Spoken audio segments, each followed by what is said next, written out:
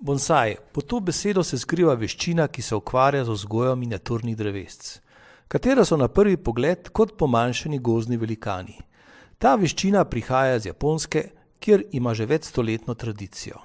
Ker so ta majhna drevesca zelo dekorativna, se je moda bonsaja razširila po vsem svetu.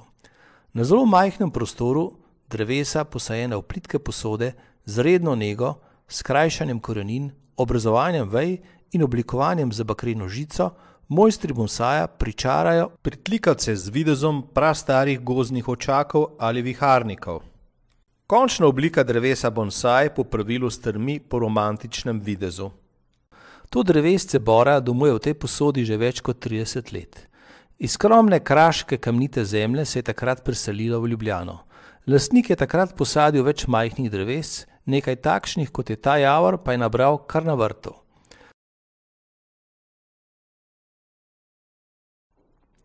Tudi ta gaber je bil vzgojen iz domače sadike. Kot se vidi na posnetku, so njegovi listi bistveno manjši, kot so listi normalnega gabra.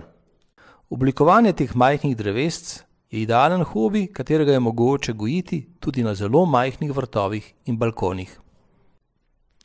Pri vzgoji bonsajev pa se moramo zavedati, da do pravega rezultata včasih vodi pot, dolga tudi več kot desetletje.